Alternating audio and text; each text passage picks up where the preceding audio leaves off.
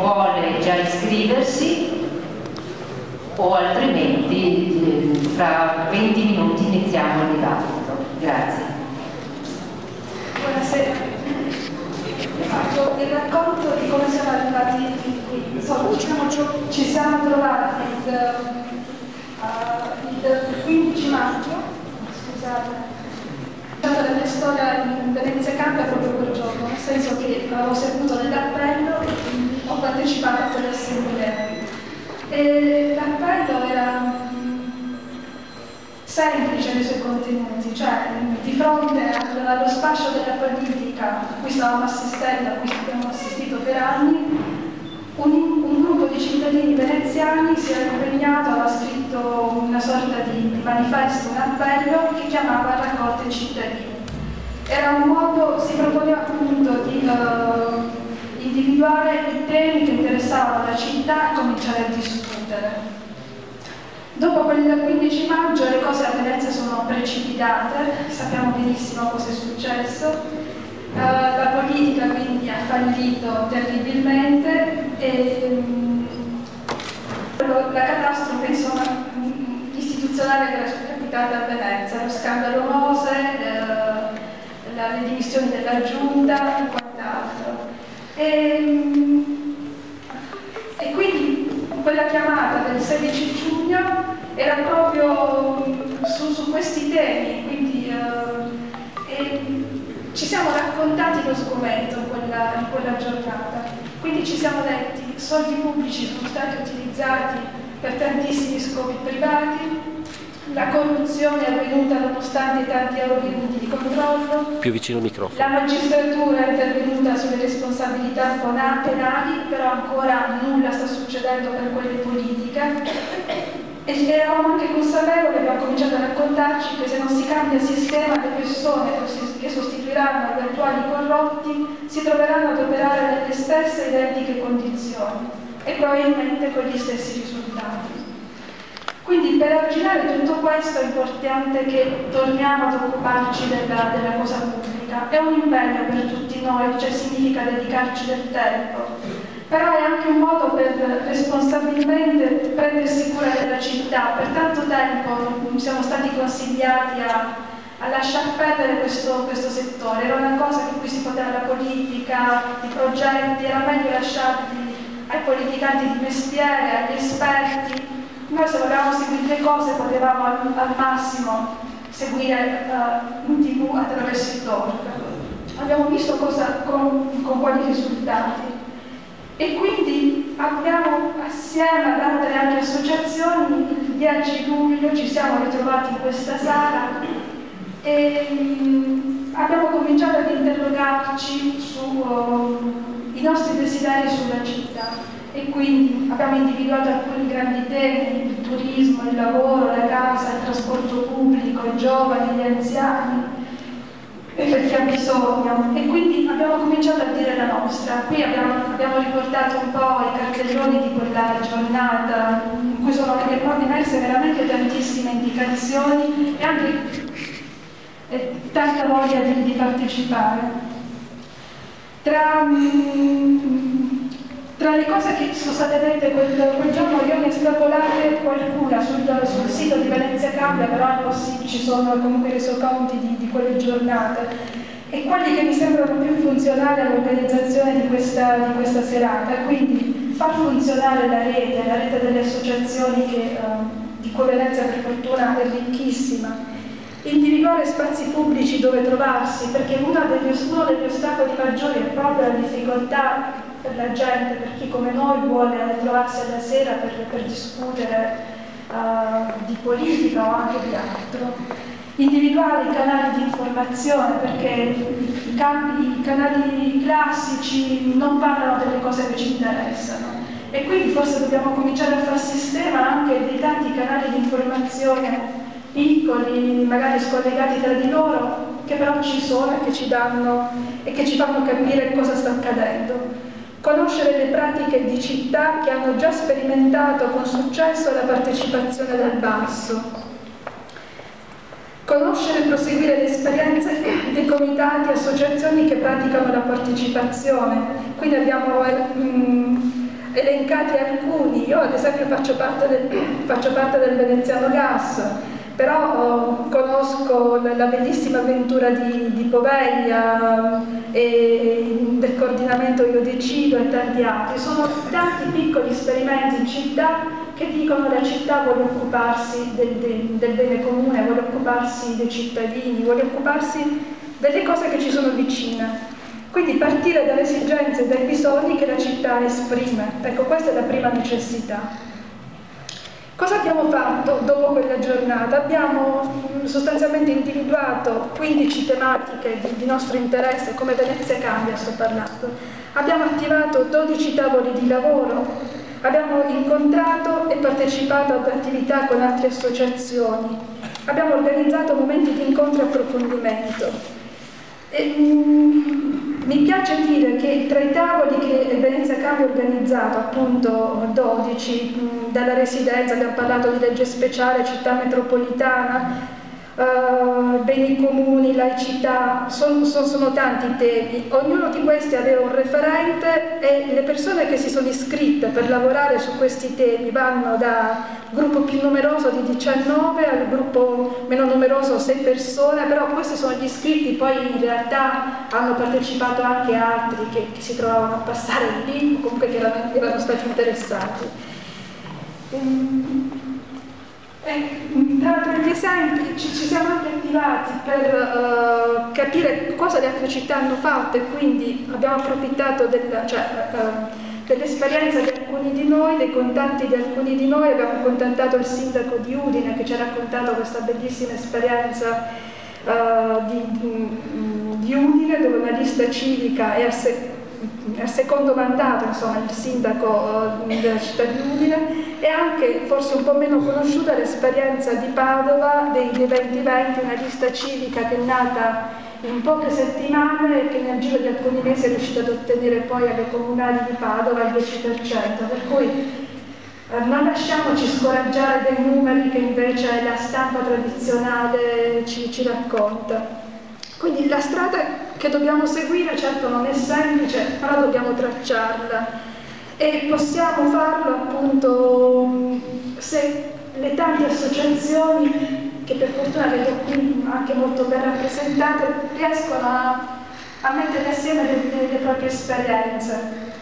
E, quindi l'obiettivo è quello di riguadagnare i cittadini alla politica e la politica alla partecipazione democratica. Io ho finito, grazie. Quindi la sfida è, è, grande, è la sfida di dire che non è vero che, eh, che non c'è futuro, che non è possibile riguadagnare alla politica la comunità cittadina. Noi pensiamo che le condizioni ci siano tutte, ci sono i saperi in questa città, ci sono le pratiche, le persone sono impegnate da anni e conoscono i problemi della città. E c'è eh, la possibilità effettivamente di lavorare assieme. Bisogna evidentemente lavorare assieme anche sulle regole, che è importante. L'altra cosa che, se volete, è l'altro aspetto della medaglia è il fatto che comunque la politica tradizionale, la politica dei partiti, anche dopo il 4 giugno, non ha reagito. Anzi, ha cercato di ricostruire una sorta di torpore, eh, di dire che nulla era successo di grave, che potevano interpretare un nuovo cambiamento, un rinnovamento. E questo è stato eh, il leitmotiv, eh, anzi meglio, usiamo un termine più, più terra a terra, la manfrina che è stata tenuta. No? È possibile, noi ci pensiamo, adesso rinnoviamo, ci mettiamo in discussione, lavoriamo, eccetera. Non sta succedendo nulla, nulla di nuovo. Questo è il dato vero. Ci sono le riunioni delle segreterie di partito, ci sono gli incontri bilaterali, ci sono eh, candidati che un giorno appaiono e l'altro giorno scompaiono, ci sono i padrini e le madrine che benedicono Tizio piuttosto che Caio. Ecco, questo sicuramente ci obbliga ancora di più a fare questo sforzo. Perché se la politica, quella che ha governato questa città, quella che è organizzata nei partiti politici, non ce la fa, non ce la fa secondo me per un problema anche culturale. in, e questo è il motivo per cui noi, fin da, dal primo appello del 15 maggio, abbiamo detto il nostro giudizio è che i partiti siano irriformabili, ma non perché dobbiamo demonizzarli, ma perché probabilmente c'è bisogno di una fase nuova che dica che a partire da un rinnovamento profondo delle pratiche, delle, della cultura della politica, anche i partiti saranno obbligati poi sulle cose, non sulle dichiarazioni, ma sulle cose a cambiare. Allora, quello che noi oggi vorremmo provare a fare è dire c'è un tema eh, che evidentemente ci deve accomunare alcuni valori di fondo di orientamento che dobbiamo avere. Noi li abbiamo riportati qui semplicemente per dire questo è il percorso che in questi mesi abbiamo fatto e abbiamo trovato alcune cose di orientamento per un dibattito. E le citiamo qui molto rapidamente, che non sono assolutamente parole retoriche, perché dire che una comunità in cui vivere e lavorare bene significa ricostruirla perché Venezia la comunità oggi non soltanto in forte sofferenza, ma rischia di saltare, è saltata per aria nei mille interessi, nei mille gruppi organizzati, gli uni contro gli altri. Allora, parlare di politica significa ricostruire una dimensione di comunità. Ci sono degli interessi che sono comuni a tutti e che sono più importanti degli interessi privati o di gruppo. Ecco, questo è un tema su cui dobbiamo interrogarci perché se non ritroviamo questo senso dell'appartenenza a una comunità è molto difficile ricostruire eh, una rappresentanza politica, scegliere una persona, il simbolo, il sindaco, che dovrebbe in qualche modo incarnare questo senso di appartenenza alla comunità. Ma è soprattutto molto molto difficile far sì che ci sia un programma vero, non delle dichiarazioni pubblicitarie, un programma che poi si attui, che sia misurabile e verificabile. Allora questo è un tema centrale. È un tema centrale il fatto che l'economia e le istituzioni tornino ad essere al servizio dei cittadini. Anche qui sembra retorica, ma oggi l'economia di questa città va per conto suo. Ci sono funzioni importanti di questa città, il porto e l'aeroporto, che vanno per, per la propria strada, che decidono non, in, soltanto in autonomia, ma contro gli interessi della comunità. Contro gli interessi della comunità. Allora il problema è bisogna ricostruire una piattaforma politica in cui l'economia e le istituzioni siano al servizio dei cittadini c'è un terzo punto molto importante, che è il tema del confronto continuo tra eletti ed elettori. Penso che c'è una questione che abbiamo posto al centro anche dell'iniziativa politica di Venezia Cambio 2015 è la partecipazione. La partecipazione prima, cioè questa partecipazione, farla, moltiplicarla in tanti luoghi, con metodo, in modo che effettivamente tutti abbiano la possibilità di partecipare e di dire la propria, costruire sintesi sulle proposte e quindi poi arrivare a un programma che sia effettivamente condiviso. Ma la partecipazione durante, perché dopo la campagna elettorale gli eletti, il sindaco, i presidenti di municipalità, i consiglieri comunali, gli assessori, le posizioni di vertice nelle amministrazioni che contano quelle delle società partecipate, non possono fare quello che vogliono e non possono non rendicontare alla città quello che decidono. Quindi la partecipazione durante è fondamentale. E poi il bilancio. Questa è una città che non ha mai avuto un bilancio delle giunte, delle amministrazioni, del governo. Non c'è mai stato un momento di sintesi in cui si è detto avete governato bene su questo, avete governato male su quell'altro. Perché c'è una sorta di rendita. Allora, le rendite politiche sono finite. La partecipazione è la linfa vitale per dire che chi lavora politicamente, chi lavora socialmente, chi lavora per la comunità vale, non chi ha una rendita perché ha qualcuno che, che, lo incorona come candidato o ha un partito dietro che gli fa la campagna elettorale. Vado rapidamente, il tema del programma della visione di città. Che città vogliamo? Ma davvero qual è la visione di città? È la città in cui si recupera le tradizioni, i saperi, la forza e la grande modernità nell'essere antica di questa città. E questo è un tema su cui non c'è dibattito. Una politica che non si interroga su un senso, su una visione di città, non è politica che vale per una comunità. Un altro tema importante è l'ambiente, come un bene non negoziabile. Che cosa vuol dire? Che non possiamo accettare più ricatti sulla questione ambientale. Microfono. Non ci può essere un ricatto sulla questione ambientale, non ci può essere un Paolo Costa che dice eh, il canale contorta sì perché se no si perdono i posti di lavoro. Perché questo discorso l'abbiamo sentito per decenni, era quello del rischio chimico a Marghera, no? ed è quello dello strapotere di Marchi che adesso dice io sono uno che un datore di lavoro e che dà lavoro a questa comunità, quindi decido io. No, questa non è una logica di ricatto neanche sull'ambiente né sociale. E altri valori vorremmo poi discutere assieme. Allora, oggi abbiamo tre, tre appuntamenti, questo è il primo. Il primo è come cambiare.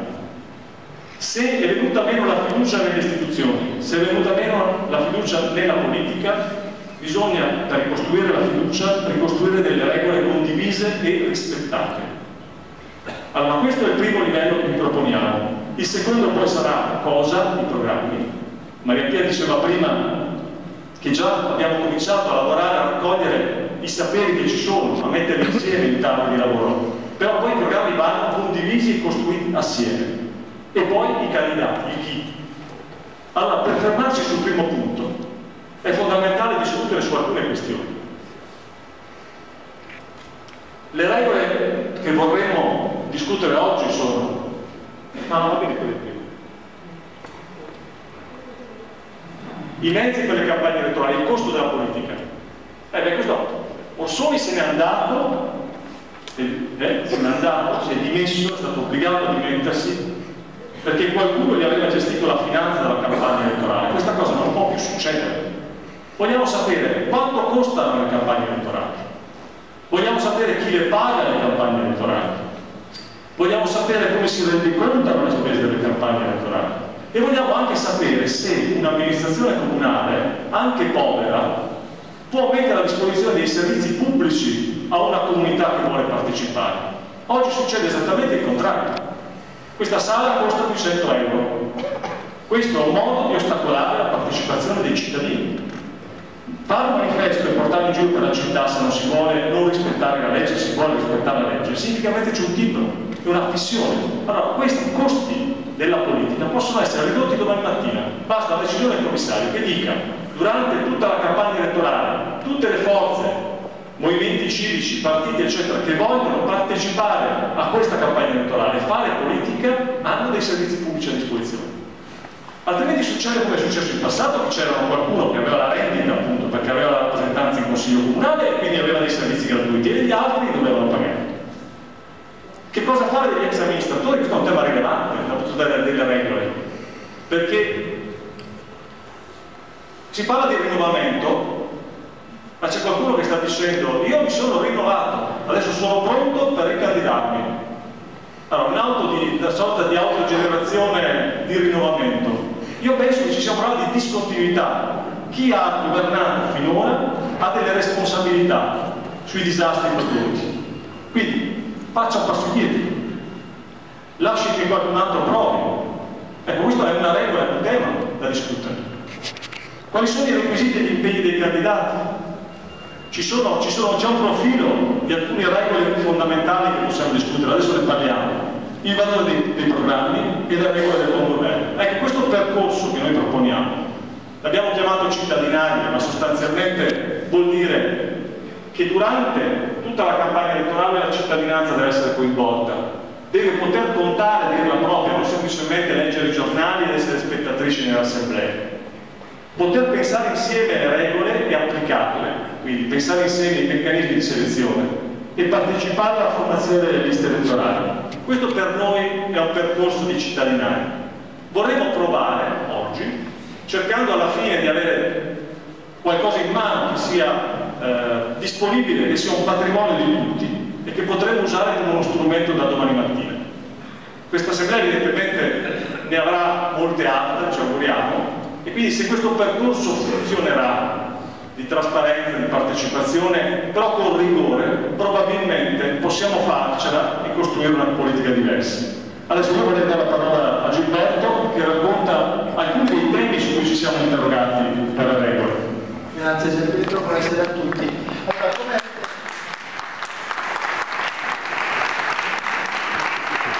come avete sentito negli interventi precedenti, ci sono delle sfide drammatiche io li considero. La prima è questa, la politica non come professione ma come servizio alla collettività, che capovolge radicalmente il modo attuale di fare politica. La seconda è che vi chiamiamo a decidere sulle sorti della città attraverso un processo di democrazia partecipativa. Cioè noi intendiamo coinvolgervi in tutti gli aspetti della vita amministrativa di questa città, cosa che non è mai stata fatta. Abbiamo tentato più volte, sì nel 2010, con questa amministrazione, ma con scarsissimi risultati. Oggi invece lanciamo questa sfida non soltanto a noi ma anche a voi. La prima sfida quindi è questa, vi chiamiamo a discutere, a dare il vostro contributo, le vostre indicazioni, le vostre osservazioni, i vostri suggerimenti sul problema delle regole che dobbiamo adottare. Come vedete qui dalle slide che passano, no? la prima è, si parlava dei finanziamenti della campagna elettorale, questo aspetto riguarda il problema della trasparenza. E non è che se ricevo contributi mi devo comprare le mutande verdi, voglio dire, a parte il fatto che il verde non mi piace, ma devo essere trasparente, devo dire ai miei elettori come ho speso i contributi che ho ricevuto, cosa che fino adesso non è mai stata fatta. Quindi trasparenza sull'utilizzo, sulla raccolta dei contributi sulle gratuità ricevute in modo tale da essere con il massimo tutti dobbiamo sapere ciò che viene speso. Gian Pietro Pizzo diceva prima se un servizio pubblico mette a disposizione o riduce i costi della politica anche noi riduciamo le spese per la campagna elettorale. Passiamo alla seconda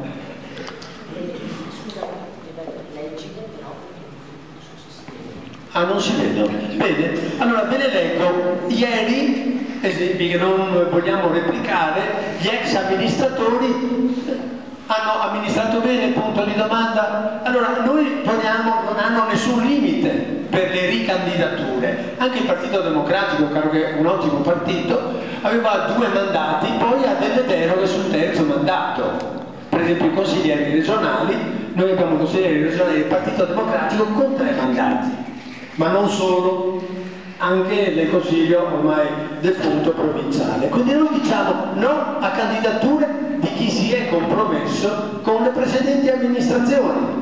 Il caso del Mose è uno di questi. Non è possibile che gli amministratori non sapessero assolutamente niente. Comunque noi poniamo un limite ai mandati perché noi crediamo che la politica sia un servizio alla collettività e non una professione. Ieri avevamo, non avevamo esperienze e competenze, eh? ciascuno poteva candidarsi o se si candidava perché apparteneva a qualche cricca, a, quel, a qualche gruppo di pressione, eh? E naturalmente si potevano verificare anche eventuali conflitti di interesse. Noi siamo sostanzialmente contrari a quanto è successo nel passato. I candidati dovranno dichiarare le loro esperienze, le loro competenze, le loro professioni, le attività svolte nell'ambito della pubblica amministrazione, eventuali tendenze con la giustizia e naturalmente precedenti attività in situazioni che possono dar luogo ad eventuali conflitti di interesse sono tutte, ne mancano, ne vogliamo delle altre, vogliamo essere più rigidi, vogliamo mettere più, più vincoli, benissimo, siamo qua per discuterne. Candidatura a scatola chiusa, noi non vogliamo più le candidature a scatola chiusa decise direttamente dai partiti. Abbiamo visto le esperienze eh, passate, oggi abbiamo il commissario, una città di livello mondiale che non ha una amministrazione politica ma ha un commissario. Allora le, scusa, le candidature, chi sarà il sindaco dovrà dire chi sarà il proprio vice sindaco, qual è la squadra, le quote di genere definite in giù, quante donne, per esempio, almeno i nomi principali della, dei collaboratori, cioè della squadra di giunta, perché voi sapete che è importante la giunta con le, la nuova legge sul, sugli enti locali, il sindaco e la giunta decidono le sorti della città e c'è un processo di grande democrazia nei confronti del cosiddetto Consiglio Comunale che fino ad oggi è lo diceva anche Cacciari, il povero Cacciari, diceva siete i miei soldatini. Purtroppo è così. Noi non vogliamo che questo succeda più, vogliamo anche stabilire un processo di democrazia all'interno dell'amministrazione comunale. Bene, prima, delle primarie decise dai partiti, questa sera voi lo sapete, il Partito Democratico decide le regole per le primarie, però sono le primarie di partito o sono le primarie di coalizione? Se sono di partito va bene, ma se sono di coalizione con chi? Qual è questa coalizione? Ci sarà dentro anche la destra oppure no? Allora noi cosa diciamo? Noi invece vogliamo un confronto pubblico, preventivo, sul modo, sulle regole stabilire le primarie, quindi regole condivise.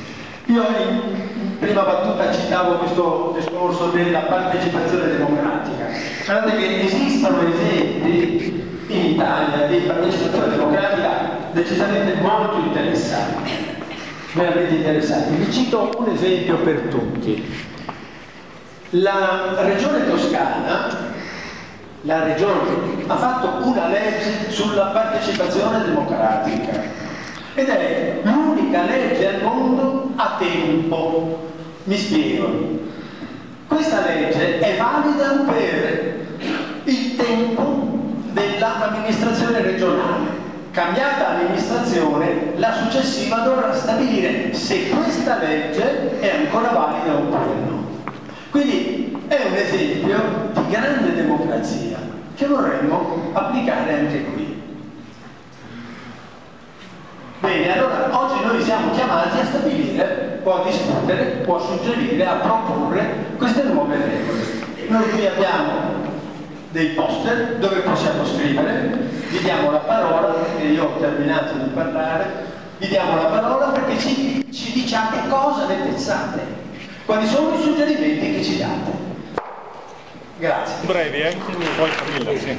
Eh, scusate, eh, molti mi conoscono, sono consigliere comunale uscente, allora eh, credo che ciascuno di noi deve dire e metterci la faccia. Io sono da... si sente? Sì. Ecco, io sono d'accordo non solo oggi con il vostro progetto e con le regole, e posso dire che alcuni di noi, consiglieri comunali, proprio per applicare queste regole sono stati buttati fuori dai partiti. Tre anni fa io ho fondato l'Italia di Valore Venezia, sono stato buttato fuori dal partito perché non approvavo il bilancio, il bilancio che era contro quello che avevamo firmato il giorno prima con il centro-sinistra. E il partito, il DV, dopo sei mesi mi ha mandato via, si è sciolto e non, non so se legalmente o illegalmente, ho fatto anche ricorso, con due persone il regolamento prevede il comune che bisogna avere tre persone, con due persone il sindaco ha permesso che facesse il nuovo partito. Sono cose che sono successe all'amministrazione. Noi abbiamo fatto dei consultari, corsa qui a sinistra, ma non siamo mai riusciti a vincere. Quello che io volevo dire qui questa sera è che qui, quindi da tre anni che io combatto contro l'egemonia dittatoriale dei partiti e mi sono trovato con molti di voi, qui vedo con molti di voi nelle battaglie che abbiamo fatto in questi ultimi tempi.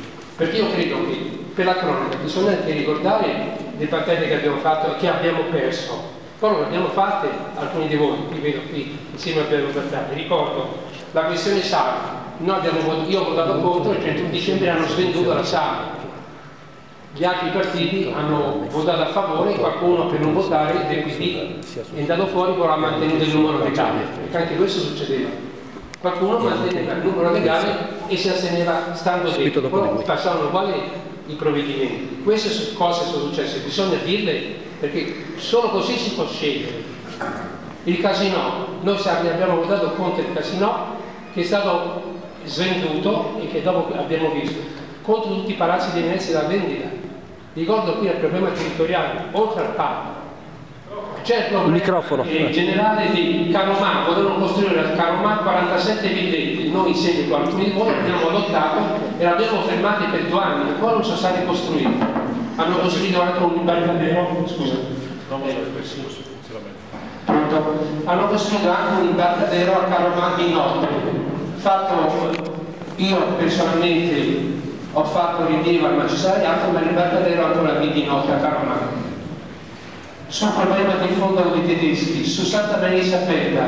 Abbiamo chiesto, io e altri dieci consiglieri, di fare un consiglio comunale su Santa Maria Sapella, ma non abbiamo portato a casa nulla. Sul fondo dei tedeschi, sul Proverbio, sull'ospedale al mare, sul teatro Marinone, abbiamo presentato un emendamento che votava anche contro, i Verdi hanno votato anche contro il mio emendamento che prevedeva, che prevedeva che il teatro Marinone non fosse venduto, mentre è stato venduto anche il teatro Marinone. Ecco, queste cose io credo che la città deve sapere che qualcuno ha messo la faccia adottata sul problema sociale, assistenziale. Siamo stati tre anni in battaglia contro i partiti, sia di centro-destra che di centro-sinistra. La notte, quando approvavamo i bilanci, il centro-destra andava al centro-sinistra e chiedeva alcune cose dell'Aula che i bilanci venivano approvati. Ecco, allora io credo che oggi, a un certo punto, come diceva anche l'amico Pizzo, i partiti se non si rigenerano, se non si rinnovano completamente, non hanno più senso nel comune di Venezia. Sono nate, ecco, io vengo qui che anche io ho un'associazione di civica e tante altre associazioni nate. Io ho proposto, dice anche agli altri, che si facesse un coordinamento di tutte le associazioni civiche, perché se non so, noi non ci riuniamo insieme, vincono sempre i partiti, perché i partiti sono forti, hanno soldi, hanno potere e hanno soprattutto il rapporto, dopo vediamo con, la, con le società partecipate, con il potere clientelare. Ecco, noi non abbiamo nessun rapporto con il potere clientelare, loro comandano, hanno questo rapporto e alla fine la gente li vota. Ecco, quindi io credo che l'unica cosa per bloccare i partiti è che si facesse, questa è la mia proposta concreta, io ho presentato un memorandum dall'avviso anche a Marco Zanetti che ci facesse un coordinamento fra tutte le associazioni civiche, che sono tante perché nascono ogni giorno, che si facesse un passo indietro, tutti di noi dovevano fare i coordinatori, portavoce un passo indietro per fare un milione di associazioni civili. E io propongo qui e termino, perché non pensiamo che anche le associazioni civili abbiano un candidato come sindaco e facciamo anche noi le primarie? Grazie. 4 minuti 4, massimo perché vogliamo provare a dare la parola a tutti. Grazie, te prego su due. Allora volevo dire così che è necessario che perché le associazioni riunite qui oggi si distinguano come dire, dalle altre realtà già presenti. Quindi sono Camilla Silvezzi, sono stata consigliera comunale con la lista in comune e delegata ai diritti civili e ciò che è importante è che il linguaggio sia puntuale, per cui sono accorta prima anche nella relazione del signor Bright, c'è un costante noi e voi, noi e voi, noi e voi, proprio perché il linguaggio non è un caso, nella democrazia partecipativa secondo me il plurale singolare, noi e voi così via, è come dire, veicola sostanza e significato. In secondo luogo credo che dobbiamo fare molta attenzione quando si dice ex amministratori sapevano del Mose, perché non è così. Cioè, alcuni l'avranno saputo, altri non l'avranno saputo, però quando si fa la demagogia si è puntuali nell'informazione, altrimenti è inevitabilmente la demagogia. Quello che abbiamo fatto con i diritti civili, siccome sempre sotto accusa la scorsa amministrazione, io credo abbiamo fatto dei distinguo, perché quello che abbiamo fatto sui diritti civili è documento formale di 200 associazioni di formazione che si sono riunite a Roma tra il 22 e il 23 settembre, è diventato un documento che è partito in tutti i comuni italiani. E per me questa si chiama democrazia partecipativa e ha un eco di livello nazionale, quindi, quindi non eliminerei il contenuto, le forme, pratiche di buona politica, ma farei sempre dei distinguo, perché altrimenti, come dire, è un po' uno sport elettorale, lì si inizia dall'anno zero e non si distingue ciò che è stato fatto di buono da ciò che è stato fatto di sbagliato. Invece la puntualità, se quando si parla di competenze, di conoscenza, se questa è la base da cui si parte tutti noi, ha la sua importanza irrinunciabile, altrimenti rimane come uno sport elettorale che secondo me è fatto dalla cittadinanza invece della ragione. Il Consiglio Comunale nella scorsa legislatura mi sembrava di leggere dalle tue parole, almeno da quello... Eh, io prima di scriverlo volevo chiedere la, la il, il problema il consiglio comunale è quasi inesistito perché chi comandava allora, la giunta è il sindaco ecco. allora mi permette di scriverlo scusate l'ho voluto chiedere per chi vuole intervenire? Vorrei fare quella comunicazione tecnica. Prego. No no un intervento flash. Eh, ma flash con l'importante è che tutti ascoltino. No è la legge da dei poteri al consiglio comunale e dei poteri alla giunta comunale. Non è che ci sia un'estromissione di un potere rimprovvisato. Ma non ha mai sentito neanche il partito? Decideva, decideva e poi obbligava il Consiglio Comunale ad approvarlo, quello è il problema. Allora, invece di scrivere l'inutilità del Consiglio Comunale, scriverò eh, alcuni consiglieri si sono eh, diciamo, sentiti inutili. Interroghiamo. Chi vuole parlare? Prego. Io sono di chiedere cosa ci faccio qui a Venezia, faccio parte di un'associazione di alpinisti, ma lavoro in una provincia, in un comune della provincia di Venezia, Porto del Tino. Eh, volevo portare la mia esperienza in brevissime parole, perché abbiamo in poco tempo creato una lista civica due anni e mezzo fa e il comune che c'era prima che amministrava aveva creato grossi problemi al paese con strade, aveva devastato terribilmente tutto il territorio, quindi la cittadinanza era parecchio stanca e abbiamo organizzato con alcune persone di comitati e associazioni del luogo questa lista civica e abbiamo, siamo riusciti a mettere un consigliere, quasi due, e per poco veramente non potevamo, potevamo fare il sindaco. E la cosa interessante che abbiamo fatto proprio partecipare la cittadinanza come avete qui dimostrato ed è la strada giusta da percorrere. Noi abbiamo fatto anche il programma elettorale sulla base delle persone, cioè noi giravamo per le frazioni, la gente ci diceva cosa voleva, cosa gli interessava fare, abbiamo fatto il programma con tutta la cittadinanza e questo è stato il nostro programma e è stato accettato moltissimo dalla, dalla cittadinanza, dagli abitanti. Quindi secondo me questa è la strada da fare, non ascoltiamo più i partiti perché la cittadinanza, gli italiani tutti ormai siamo stanchi di, questo, di questa situazione. Quindi questa è la strada giusta, vi consiglio di seguirla. Grazie. Grazie. Non è stato peccato con la mani sulla marmellata, insomma gli assessori eccetera erano lì e bisogna mettersi proprio una benda sugli occhi per non sapere. Quindi secondo me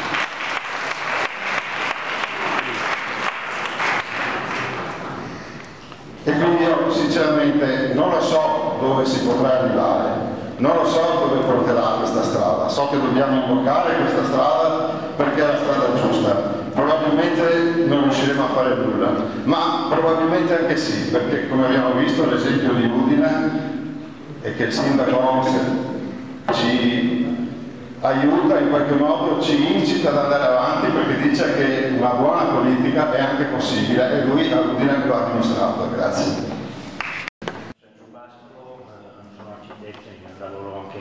all'università, facoltà di architettura, partecipo da, da sempre a, nella misura del possibile alla discussione politica.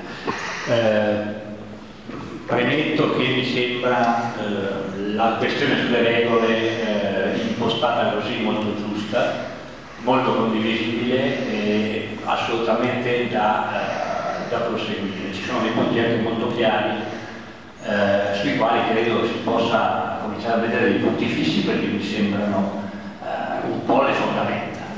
Eh, mi scuso ma ho approfittato, ho preso la parola perché visto che c'era un attimo di silenzio, ma vado un po' avanti su alcuni temi per poi tornare su questo. C'è un tema importante che fa parte sempre del dibattito, è stato detto anche oggi, dalla stampa viene molto spesso ripreso, la famosa questione dell'idea di città visione di città, progetto di città che manca. Questa è una delle tante cose che dicono tutti a questo punto. È una delle tante... Allora, così o come giustamente San Pietro prima diceva, ovviamente adesso dicono tutti che non va bene la corruzione. Eh, non ce n'è uno che dica no, io invece sono favorevole da andare avanti così, no, è ovvio. Così, allo stesso modo, tutti parlano della mancanza di città, anche qui sembra che siamo tutti d'accordissimo, ma comunque questa idea di città non c'è. Eh, siccome di città ci sono cose eh, limitatissime le quali io mi trovo a lavorare all'università, non all'università, sia su Venezia e anche per il mio mestiere nelle altre città del mondo, invece il problema è che l'idea di città ci vuole e che città anche qui, paradossalmente, c'è, è molto nascosta, ma non emerge mai perché c'è un'altra strategia. Non è che c'è un dibattito in cui c'è la possibilità di confrontare per esempio idee diverse di città, come succede in molte città, perché l'idea di città è una cosa complessa, non è una cosa oh, molto, molto ovvia e molto semplice. Ma dice adesso ce l'abbiamo e siamo tutti d'accordo, potremmo essere anche molto in disaccordo. Ma a Venezia è successa un'altra cosa, sta succedendo un'altra cosa, a proposito di omertà, che ha di fronte a svariati tentativi di esprimere città dentro e fuori la nostra facoltà di architettura, eh, si è sempre opposta una mancanza di idee perché la strategia che ha portato la città a questo punto è appunto apparentemente non avere un'idea di città. Perché una politica di idea di città in cui il futuro viene costruito solo per interessi non può discutere questa strategia con una strategia invece descritta e spiegata trasparentemente. Perché sono due entità non, eh, dire, che non dialogano allora il fatto che quando io mi trovo all'estero, anche qui, vengono tanti ospiti stranieri e tutti ci chiedono ma come fate questi disegni, progetti, gli studenti, laboratori, questo, quell'altro, ma come mai? La città cosa dice? Come mai non c'è traccia di tutto questo nel dialogo con la città? Perché la città non dialoga con nessuno e perché la città non ha mai dialogato con nessuno? Perché la strategia della città non ha nessun interesse a dialogare con qualsiasi altra strategia che sia un vero progetto, perché è una strategia di interessi, prevalentemente di interessi occulti. Gli interessi occulti sono interessi di lobby. E qui chiudo perché la questione del lobby è un potere immenso, eh, sett questa settimana c'è un numero dell'espresso sulla questione del lobby, eh, e quindi dobbiamo cercare di mettere a punto tutte le nostre energie perché la strategia non è che adesso noi possiamo disegnare un progetto, eh, condividerlo e che, venga da qualsiasi parte, discuterlo insieme e poi eh, discuterlo con qualcun altro che ne ha un altro, perché quest'altro non c'è. Il loro disegno, quello che è andato avanti fino adesso, resterà sempre un disegno che non viene rappresentato da nessuna parte e funziona per quello. Grazie. Voglio dire solo una cosa finale. Eh, la settimana scorsa, eh, venerdì, ero in Germania per una cerimonia in una città dove lavoro da tanto tempo, dove c'era un sindaco uscente che salutava il sindaco entrante. Questo sindaco uscente ha detto io sono stato eletto sette anni fa, in Germania i sindaci hanno mandato di sette anni, e quando sono stato eletto, sono stato eletto anche perché uno dei punti cardine della mia candidatura, della mia campagna elettorale era cambiare rotta rispetto alle precedenti amministrazioni su un punto solo. La città non deve più vendere il proprio patrimonio, ma deve fare tesoro del proprio patrimonio e casomai aumentarlo. E questo signore ha avuto l'onore di dire alla città che ci è riuscito e che dà la seconda eh, dopo di lui in mano alla città a un altro signore che ha contribuito non solo a non vendere, ma addirittura ad aumentare il patrimonio di edilizia pubblica e di servizi sociali in maniera consistente. Ecco, di questo credo che dovremmo, spero, effettivamente di poter parlare. Uh, I poteri delle lobby non, non, vogliono essere candidati alle elezioni, se ho capito bene quello che dice Pasqua. Non ne hanno bisogno, non hanno bisogno di candidarsi. Quindi abbiamo già un pezzo di candidati che si ritirano Chissà che poi però abbiano dei, dei, rappresentanti o dei delegati, dei delegati, allora bisogna capire quali sono i loro delegati. Chi vuole intervenire? Io. Tutte le persone, gli anziani, le persone che non hanno assistenza, che sono negli ospedali, i rapporti con le scuole, con i servizi, con la sanità. È questo che dobbiamo censire e di cui se vogliamo pensare al bene comune è quello di medesimarsi nell'altro, cercare di capire cosa è importante per l'altro. Scusate, io sono emozionata, non sono abituata a parlare, ma quando le cose si sentono bisogna avere il coraggio di dirle. E questa mi sembra un'assemblea importante per farsi antenna e portavoce dei problemi degli altri riflettiamo sulle persone sole, riflettiamo sulla condizione di chi, di quelle persone che non sono mai state oggetto del pensiero delle persone che conoscono, che non conoscono il soffrire, che non conoscono la sofferenza e l'indegenza, no?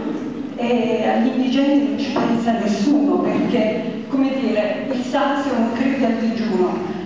E noi dobbiamo, secondo me, il momento di rivolgere la nostra attenzione, la nostra sensibilità a queste persone. Se non riusciamo a dare questo al Paese, alla nostra città, probabilmente un segnale importante c'è, altrimenti le diversità non si colgono. Basterebbe seguire l'onda del Parlamento di eh, le cose che ci vengono proposte da Roma che non sono trascurabili, eh, perché anche il governo attuale sta facendo cose interessanti, ma la città ha anche altri problemi. E noi dobbiamo pensare, conciliare, concertare quella che è la politica governativa perché dobbiamo a un certo punto condividerla. Per le cose convenienti, ma soprattutto avere un principio di realtà, capire che su, quelli che sono i problemi del nostro paese, quindi parlare anche di numeri, far capire alla gente come si leggono i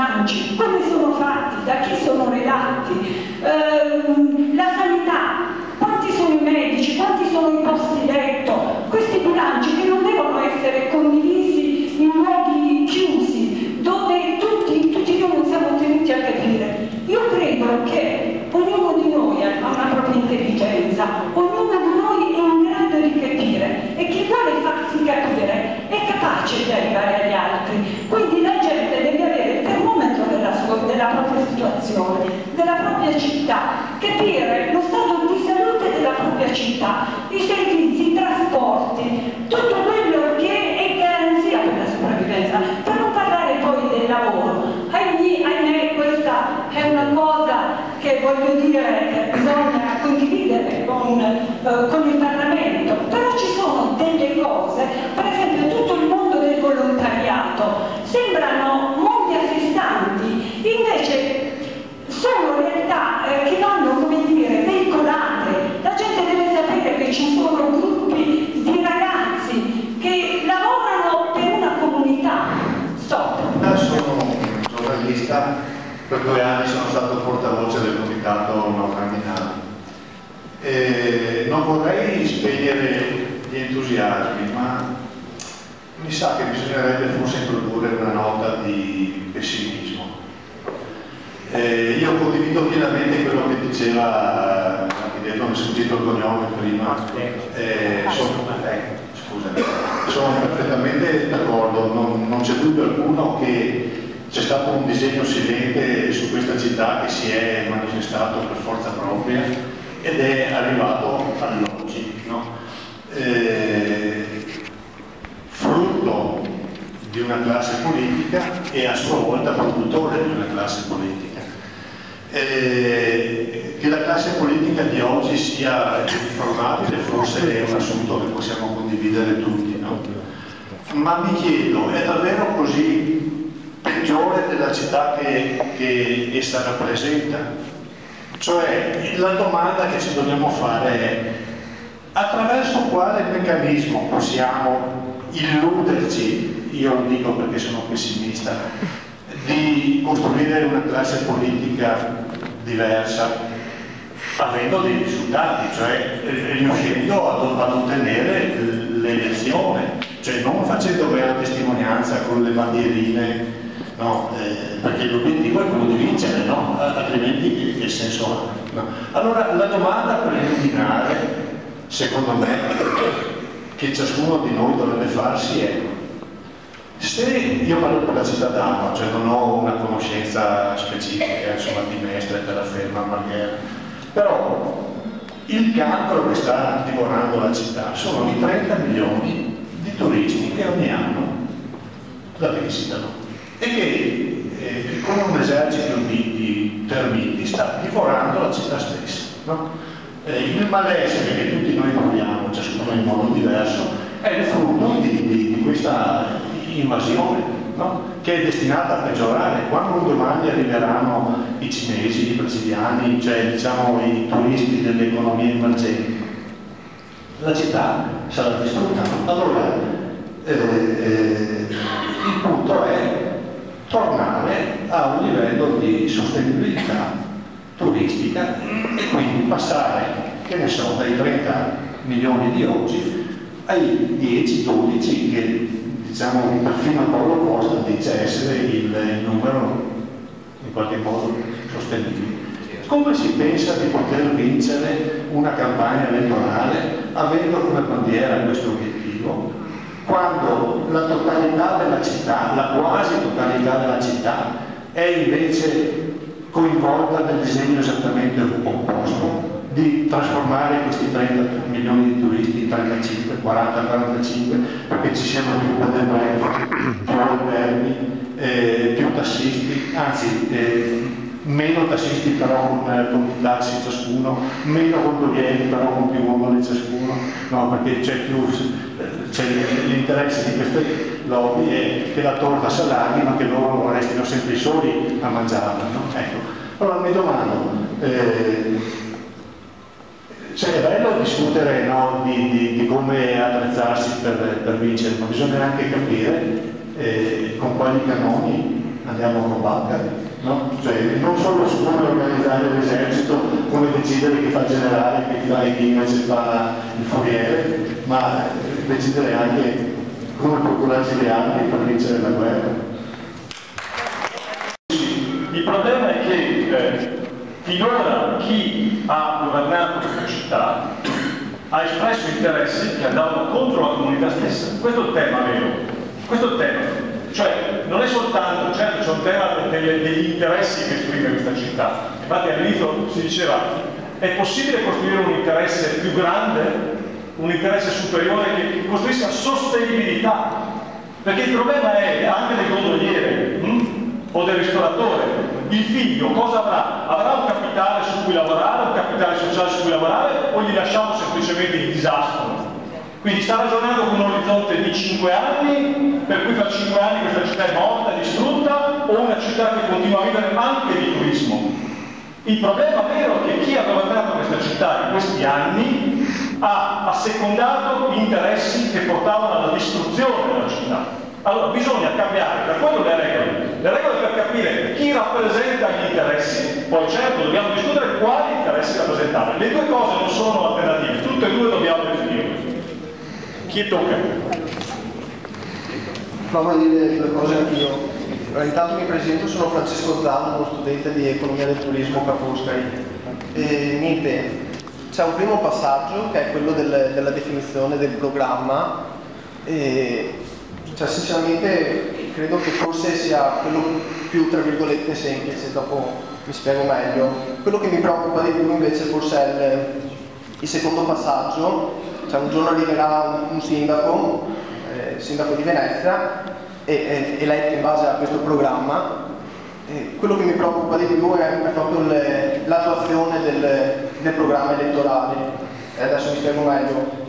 Cinque anni fa il, il sindaco che è stato eletto è stato eletto in base al programma e quindi è un programma appunti, io probabilmente non l'avevo neanche, cioè non l'ho letto, cinque anni fa non mi ero ancora interessato più di tanto, però da quel che mi dicono i più era un buon programma, un bel programma, un programma che parlava di residenzialità, un programma che parlava di turismo, di economia, di nuova economia. Eh, quindi questa è una domanda che lancio. Quello che mi preoccupa non è, non è tanto questi tre mesi, quattro che ci troviamo a definire il programma, e questa è la mia preoccupazione. Probabilmente se uno leggerà i programmi dei diversi schieramenti, mi spiego, cioè sarà difficile dire no, questo non mi piace, oddio no, quello no, per carità che brutto che cattivo. Cioè, eh, io sono sicuro che tra cinque mesi ci troveremo, li leggeremo, li metteremo a confronto e saremo sicuramente stupiti da quanto, no, quanto belli saranno, quanto... Simili. Sì, anche simili. Cioè, quindi la mia preoccupazione sarà non tanto questi cinque mesi che ci troviamo, sarà il dopo, insomma. Basta. Grazie. Eh, io faccio solo una osservazione. Abbiamo una enorme responsabilità nei confronti del mondo, non nei confronti solo dei nostri cittadini. Venezia è una città del mondo e quindi dobbiamo fare in maniera che chi verrà candidato a fare il sindaco sia un sindaco, sia un sindaco che può parlare con il mondo. Non possiamo mettere la, la figuretta e neanche non possiamo fare una giunta di figurette come avevamo fino adesso. Dobbiamo trovare gente che possa dialogare con il mondo. Se non ne abbiamo, chiediamo al mondo di mettere qua qualcuno a darci una mano. Qui a praticare i costi della politica trasparenti e rendicontati, quindi già abbiamo il rendiconto della, della volta scorsa che possiamo dare alla fine e eh, dell'assemblea che abbiamo tenuto qui a luglio ed è bene insomma, che tutti voi ci partecipiate a, a, questo percorso anche di costruzione del finanziamento dell'iniziativa politica. Buonasera, sono Maurizio Miguel, sono un nuovo scrittore spagnolo. Il mio italiano non è buono, ma penso che è migliore che mi fai una traduzione per essere più fluido, ¿no? Più fluido. Eh, hablo en español Sí. Dos cosas. La primera, en relación al turismo, se ha mencionado aquí el turismo como una plaga inevitable. Yo creo que eh, quizá la clave es dirigir el consumo del turista. Venecia vive del turista y eso es así. Eh, pero existe un concepto que se llama consumo cultural, integración. Eh, yo creo que ahí está la clave eh, de poder asimilar eh, el turismo y fidelizarlo y conseguir... Eh... Provo a fare la sintesi rapidissima. Eh, il, lui dice che il turismo rischia di essere una piaga, bisogna orientarlo, bisogna essere in grado di, di dirigerlo, di costruire un modello di orientamento culturale innanzitutto del turismo. Del consumo culturale.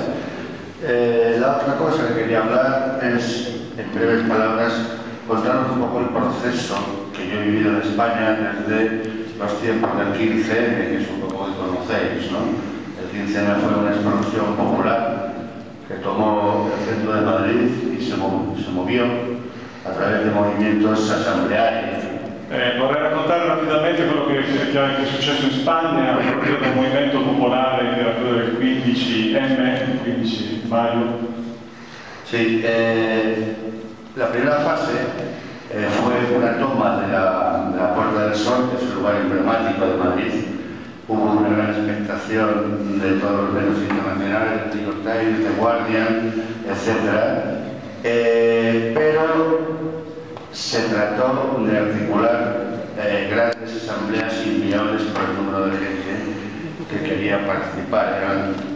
La, gente, l'organizzazione del processo della, della partecipazione è iniziata al centro di Madrid, alla Puerta del Sol, però chiaramente la partecipa con molta attenzione internazionale dei mass media e tutti, della stampa internazionale. Il problema era come poi rendere eh, gestibile, gestibile le assemblee dal punto di vista di questa partecipazione qua.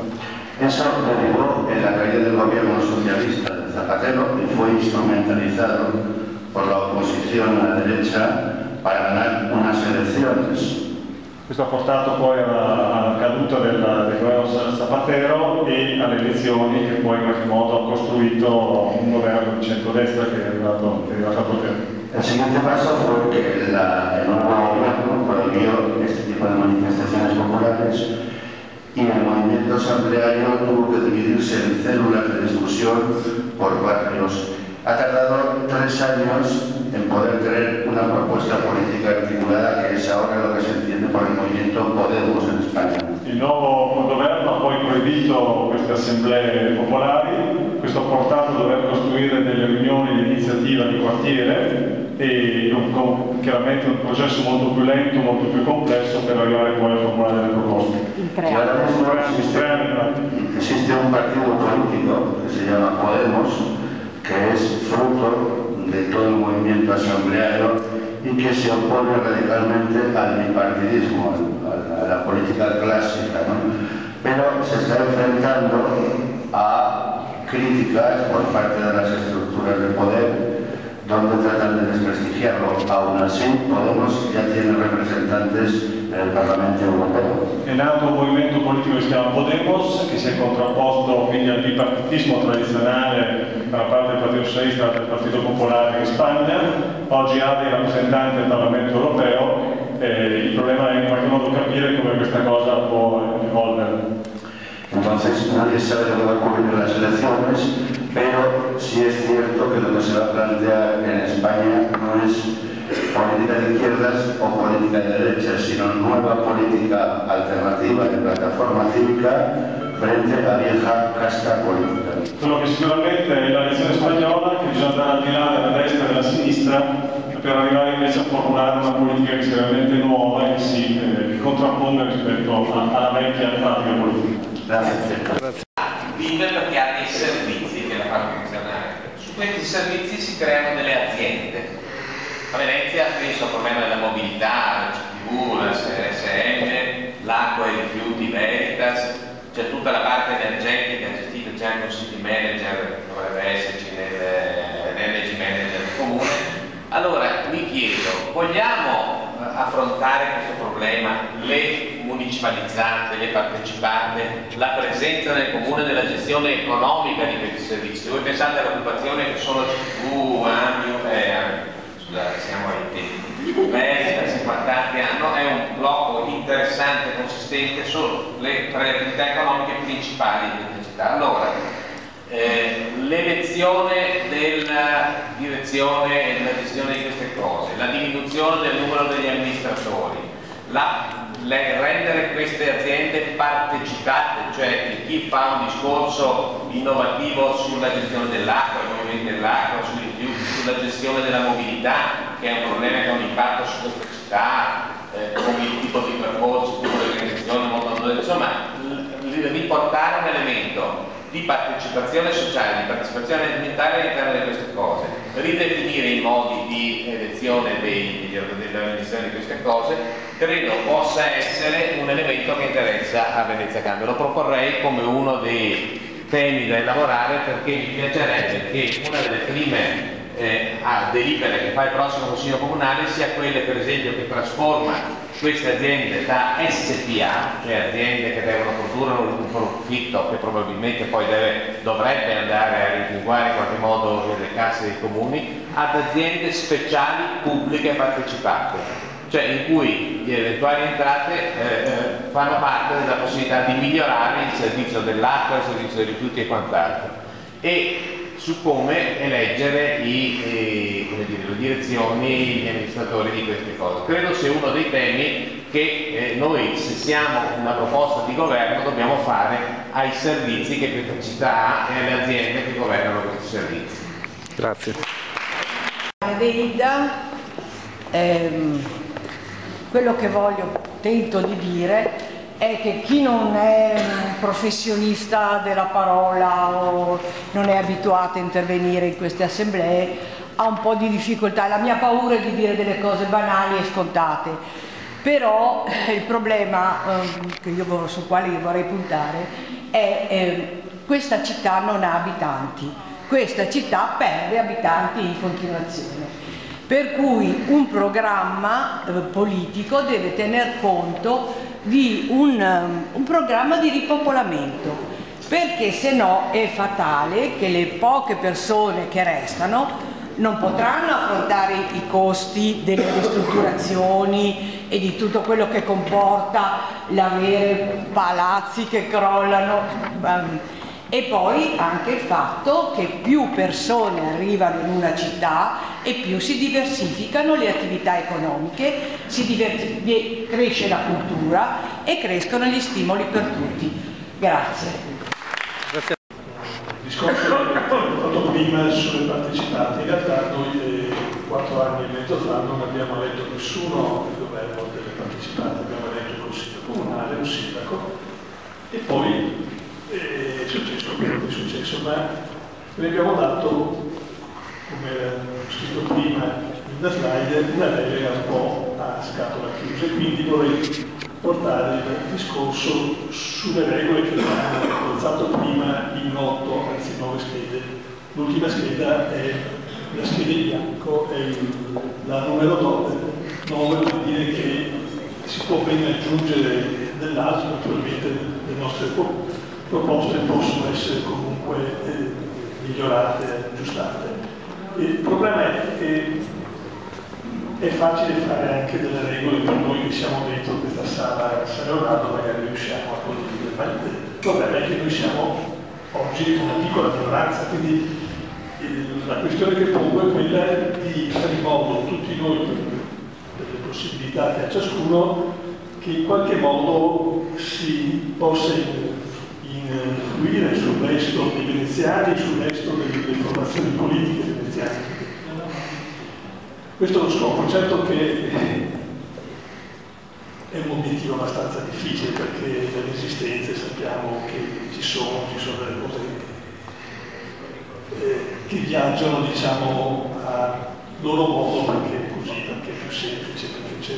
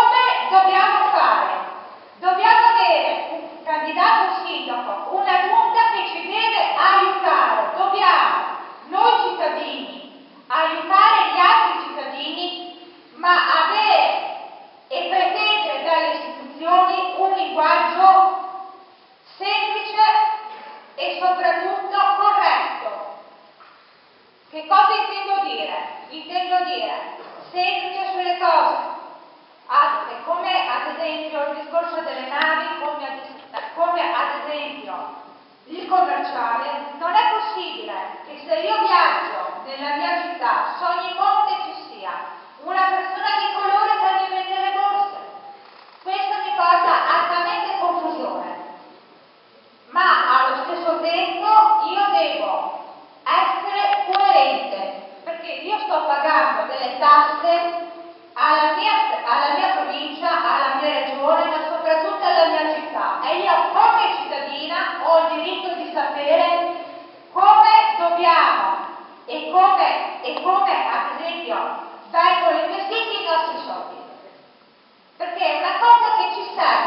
dobbiamo essere trasparenti. Grazie.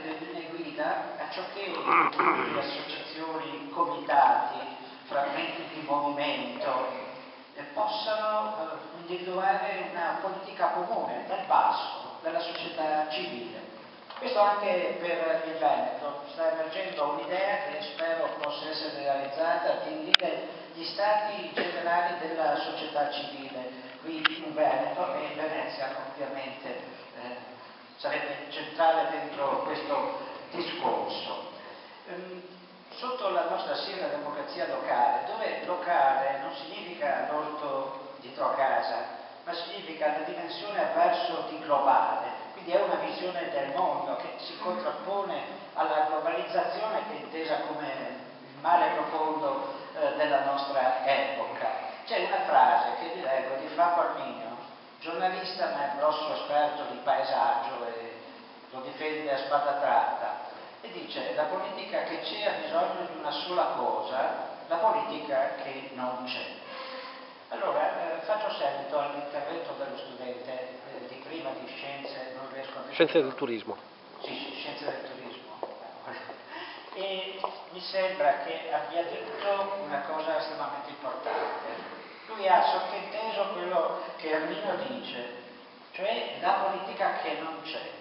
Eh, perdonate la franchezza, ma credo che responsabilmente siamo tutti impegnati ad uscire dallo stato di cose. Si è detto della politica, si è detto dei partiti in termini profondamente negativi. Questo programma va bene, se lo si vuole firmare va bene, ma è un programma che manca di politica. Cioè qui non c'è la politica, perché la politica non si fa col programma, si fa con il progetto. Non c'è un progetto. E allora il progetto vuol dire un po' di cose, ne cito 5 e poi bisognerebbe declinarle anche su Venezia, sullo specifico di questa realtà, di tutte le realtà locali.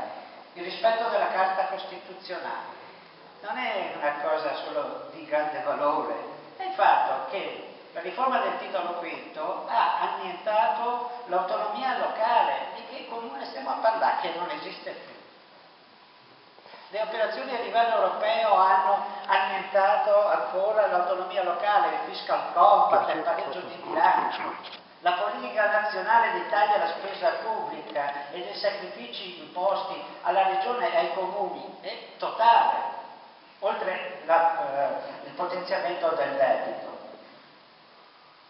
La riacquisizione della sovranità dello Stato come del comune, che non esiste Dicevo stoppare la politica di tagli alla spesa pubblica, qui o siamo tutti dementi, perdonarmi l'ulteriore franchezza, oppure abbiamo mandato il cervello all'ammasso.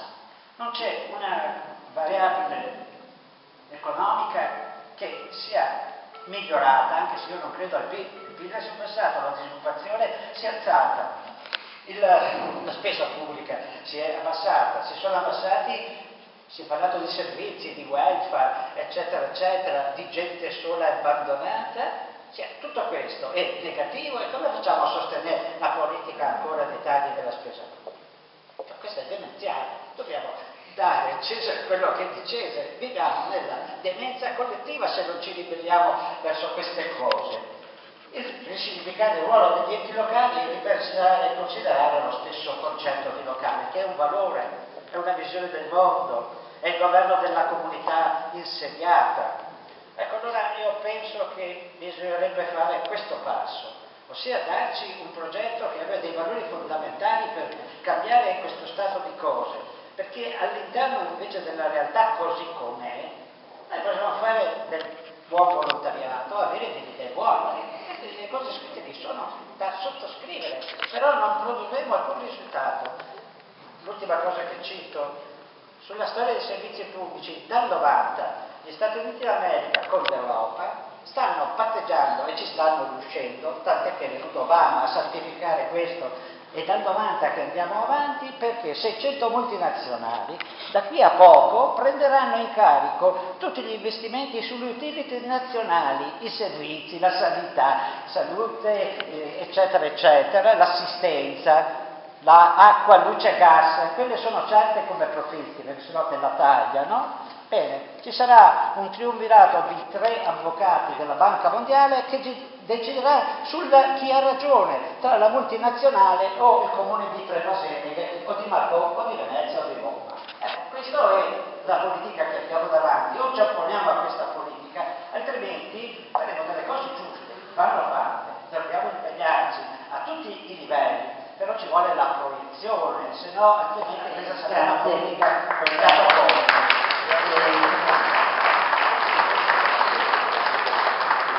Grazie. Sono Tommaso Minelli.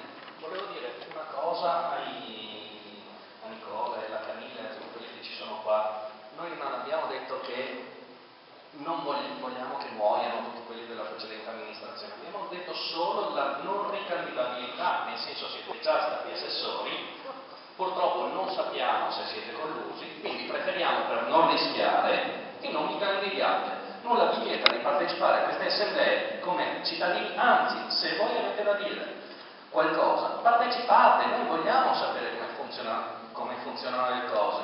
Ci fa molto piacere sapere che probabilmente non tutti gli assessori della precedente amministrazione erano collusi.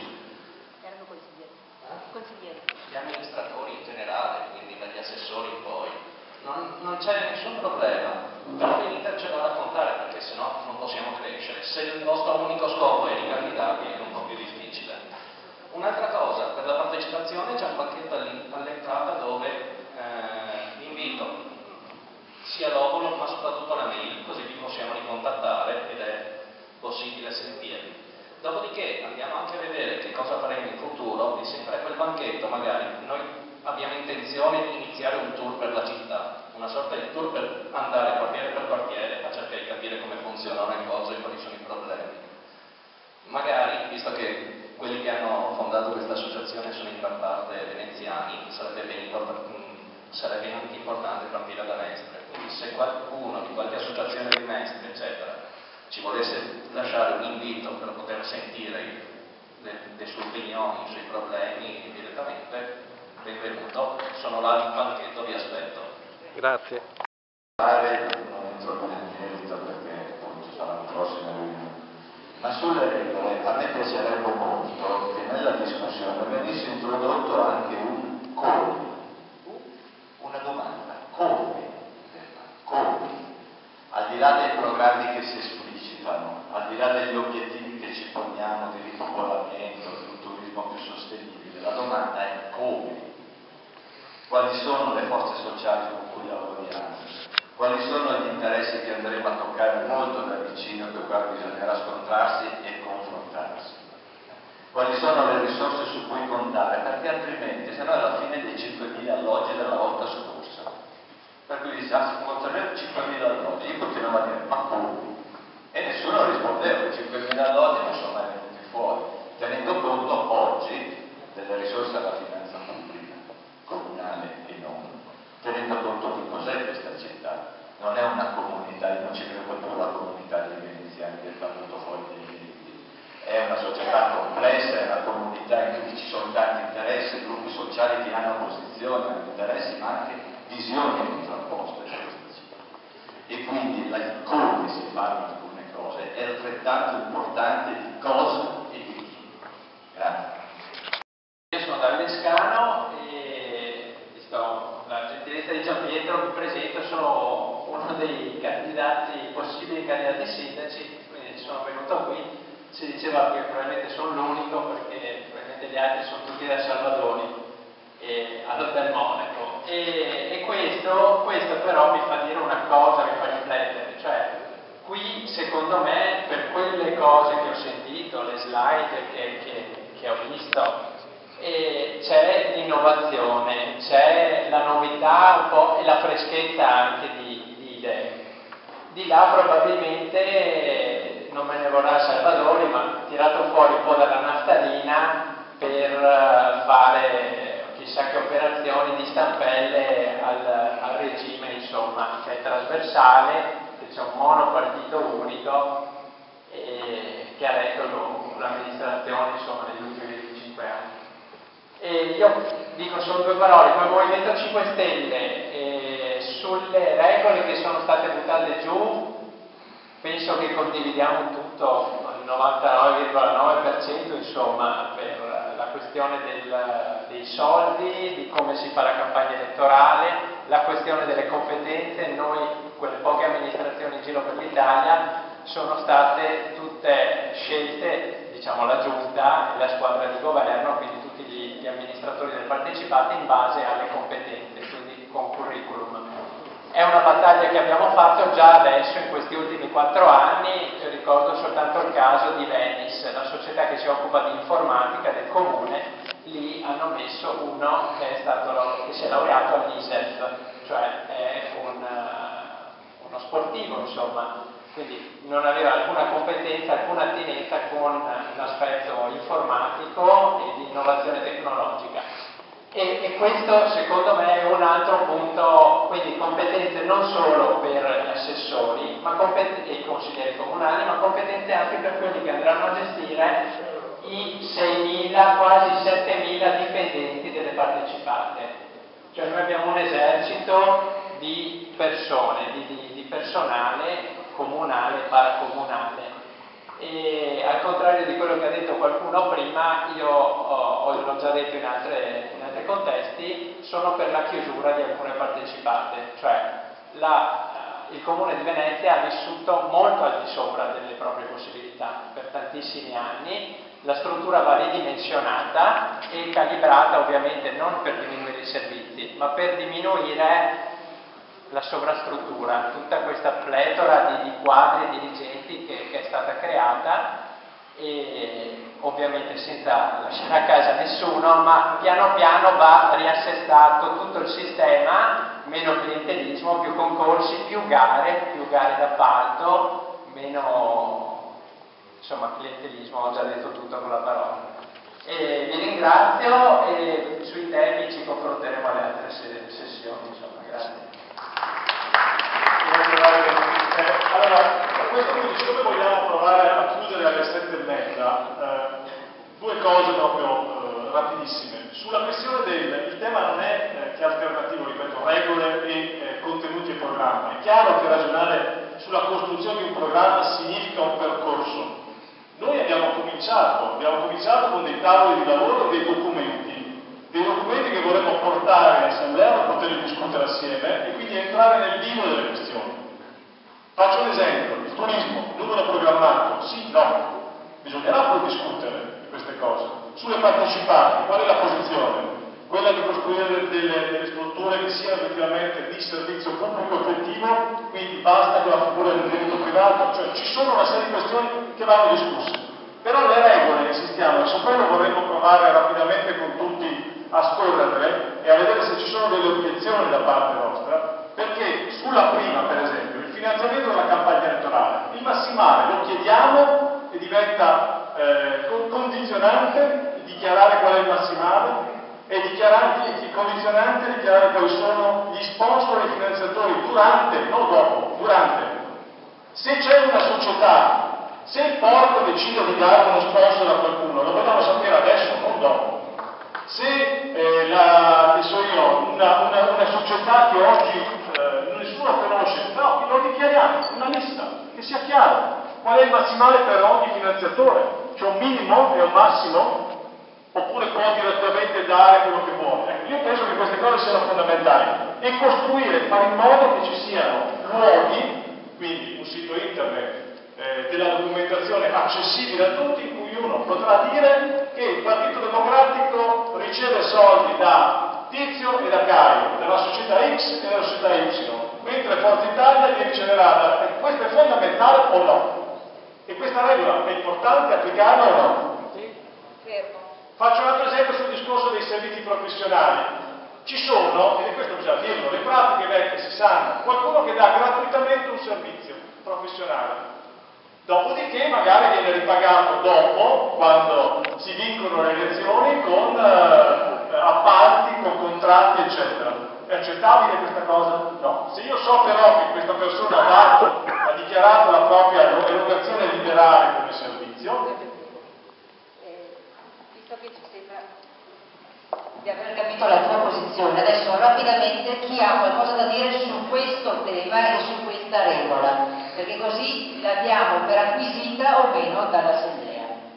Nel senso, eh, qualcuno ha qualcosa da dire sulla eh, assoluta trasparenza dei contributi, qualcuno ha qualcosa da obiettare, altrimenti passiamo poi alla seconda. Queste sono delle proposte. Carlo. Niente finanziamenti da istituzioni o imprese che hanno rapporti con la pubblica amministrazione. Ecco, questa è un'aggiunta che noi prendiamo e aggiungiamo a questo decalogo e lo riproponiamo poi nelle regole eh, comuni. Qualcun altro? Volevo associarmi, associarmi a quello che ha detto.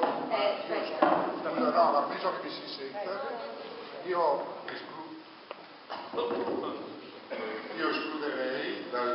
dal finanziamento, lascerei il tetto illimitato alle persone fisiche. Se uno vuole dare 100.000 euro, che li dia, ma come persona fisica. Le società sono un qualche cosa di oscuro. Quindi le società che abbiano rapporti con la pubblica amministrazione ancora meno, ma che tutte le società non possono, anche perché poi hanno uno sgravio fiscale su questo, non possono contribuire alle campagne. Dai, Carlo, due. Sì, grazie. Allora, se su questo non ci sono altre osservazioni, No, no, noi no, non ne, funziona. ne teniamo conto e, e formuleremo chiaramente, prepareremo il documento con le integrazioni. Secondo punto rilevantissimo. Ok, rapporti stati, ok. Allora, regola, regola numero due, sugli ex amministratori. Questi, queste persone che hanno avuto responsabilità come assessori, che, hanno avuto rilevanza, questo è un tema che non abbiamo esplicitato prima, primo, che hanno votato, che hanno votato eh, atti, delibere, eh, risoluzioni che hanno avuto una rilevanza da un punto di vista eh, dell'impatto ambientale, sociale, economico della città, che sono fatte una maggioranza. Gli amministratori, le posizioni apicali, gli amministratori di società partecipate nominate da vecchie amministrazioni, queste persone secondo voi sono candidabili in un processo di rinnovamento o no? Questa è la domanda. E se sì, perché? E il limite dei mandati? E il limite dei mandati? Due mandati sono sufficienti come consigliere comunale per esempio? Scusate, io sono forse controcorrente, ma io, ecco, ecco, io credo che il limite dei due mandati sia una cosa sacrosanta, però dovrebbe essere applicato a tutti in tutte, in tutte i carriere. Non credo che eh, l'esperienza di qualcuno che ha fatto il consigliere o l'assessore debba essere buttata lì, perché non è detto che queste persone siano compromesse anche se hanno contribuito a un bilancio sbagliato e sul bilancio vorrei aprire una piccola parentesi, bilancio del comune è stato forzatamente portato al disastro dal patto di stabilità. Quindi inutile che andiamo a raccontarci storie. I comuni sono affossati per questo. Quindi è qualcosa che è uscito dalla capacità dell'amministrazione. Posso, posso replicare su questo poi Cristiano? Eh, solo una nota, le competenze non vanno buttate nel cestino, si può, si può partecipare con memoria, pratiche, esperienze, anche in posizioni non apicali, non di responsabilità di prima fila, ok? Io penso però dall'altra parte che le responsabilità sul cattivo governo della città ci sono, cioè quindi se io chiudo, come adesso c'è una regola sugli amministratori che conoscete, se uno chiude il bilancio due volte in rosso, auto non è eleggibile. Ecco. Io penso che abbiano chiuso il bilancio in rosso questi signori. A bilancio in rosso non solo il bilancio del comune, entrate e uscite, lo hanno chiuso anche dal punto di vista dell'impatto, della mancanza di governo dei processi economici e sociali della città. Questo è un giudizio politico, evidentemente. È un giudizio politico. Perfetto. Cristiano. Su questo eh, io sono dell'idea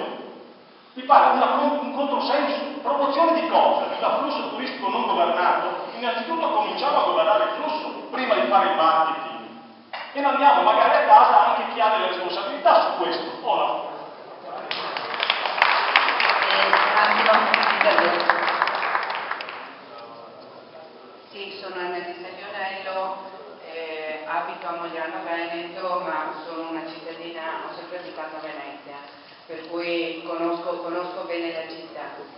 Io sono molto d'accordo con questa regola che eh, non può essere candidabile chi ha fatto parte in un qualche modo, anche solo come consigliere comunale di queste ultime amministrazioni, perché in ogni caso, anche se non aveva delle responsabilità dirette, ha avuto la responsabilità di non denunciarle di non rendere pubblico il Consiglio Comunale e di non fare delle azioni contro chi si sapeva o comunque si ipotizzava fosse compromesso. Quindi come minimo c'è una colpa di connivenza. Io eh, aggiungerei che tra l'altro tra le persone non candidabili sono, eh, devono essere considerate anche tutte quelle persone che negli ultimi, come minimo ultimi cinque anni, hanno ricoperto ruoli eh, di responsabilità o comunque hanno fatto parte dei eh, consigli di amministrazione delle banche e delle fondazioni bancarie. Perché eh, banca, finanza, cultura e politica sono un unico grande, grande impasto. Perché eh, Veneto Banca non è un'entità a sé stante. Perché i finanziatori sono o la banca direttamente o la fondazione o comunque sono un braccio dove i politici o coloro che vanno da controfigura ai politici, perché siamo molto attenti anche su questo, perché esistono chi, i politici che non si eh, mostrano completamente con la propria faccia, ma che vanno da fantasma e dietro c'è qualcun altro. E quando stiamo parlando di contributi e di finanziamenti, se parliamo di fondazioni bancarie, mettiamo in gioco l'economia complessiva e finanziaria di una città. andare più rapidi, eh, sulla terza, la terza diapositiva, evidentemente oltre alla presentazione del proprio curriculum, eh, delle esperienze eh, professionali e politiche e delle attività realizzate in passato, è fondamentale che ci sia una dichiarazione esplicita, misurabile dopo, dal punto di vista delle, eh, dei possibili conflitti di interesse di questa persona, evidentemente senza dipendenze con la giustizia.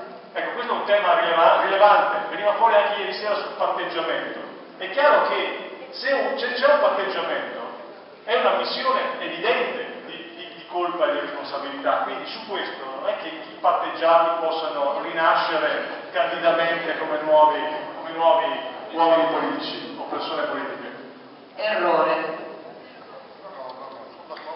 D'accordo, perché ci sono obiezioni su questo, osservazioni, integrazioni, punti che non chiari?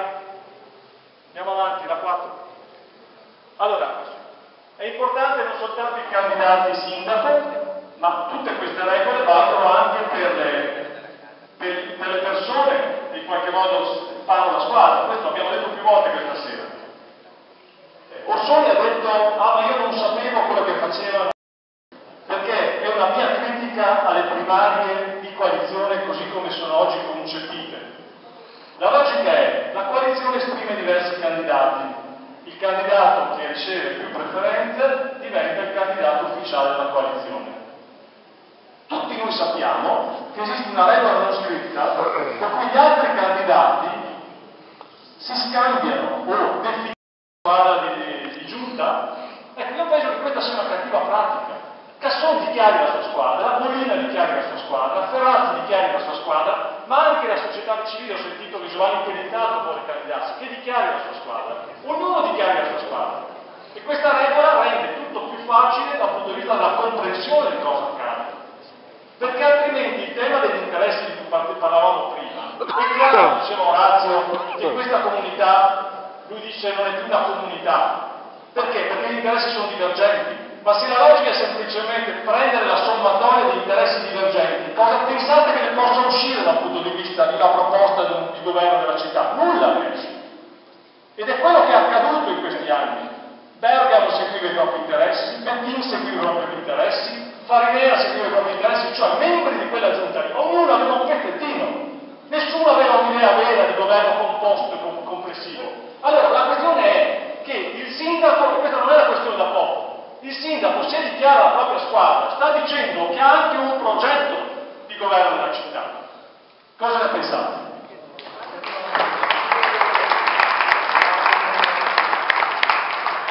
Vuole, vuole intervenire? Toglierei almeno. Togliamo almeno. I nomi principali della loro squadra. Ci sono interventi su questo? È importante questo.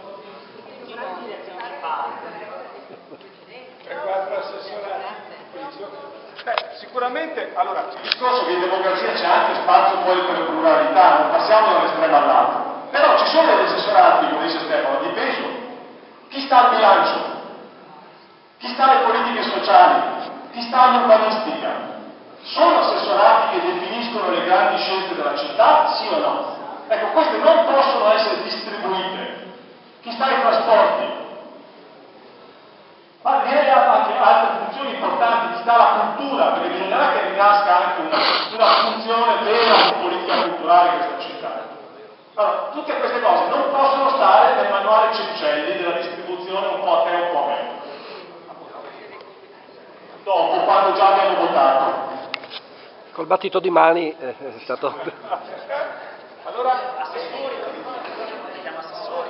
Ecco, io volevo aggiungere sulla questione però degli amministratori nelle società partecipate. Anche qui faccio un esempio, ma non perché ce l'ho eh, particolarmente con lui, ma sapete chi è l'amministratore di Veritas?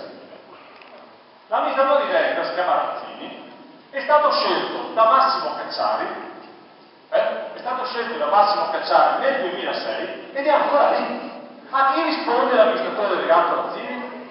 A chi?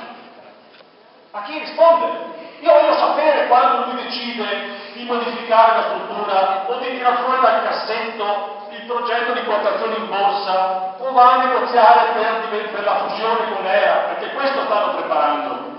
Voglio sapere che mandato politico ha questo signore, chi gliel'ha dato.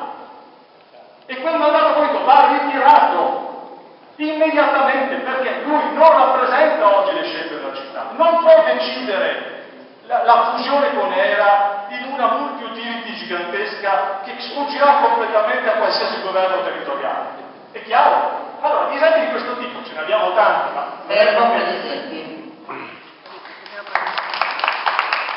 Colpa mia se ti faccio piacere. Allora, io mi chiamo Alessandra Bertotto, voglio solo dire una frase riguardo le tendenze con la giustizia. Perfettamente d'accordo, però bisogna anche valutare tendenze e tendenze. Cioè, voglio dire, chi ha tendenze con la giustizia tipo eh, Calani e quelli che hanno manifestato ai canali della Giudecca contro le grandi navi e si sono beccati multe, stramulte, denunce, qualcuno più di una, allora anche queste purtroppo sono pendenze con la giustizia. Allora direi che qui bisognerebbe anche valutare, perché molto spesso quando si fa movimento si incorre in queste pendenze con la giustizia. Attenzione. Allora, andiamo rapidi, eh, andiamo avanti. 5. Volevo solo dire che c'era scritto che si sappiano le pendenze, non eh, condanniamo le, qualsiasi cosa. Quindi informazione sulle eventuali pendenze con la giustizia.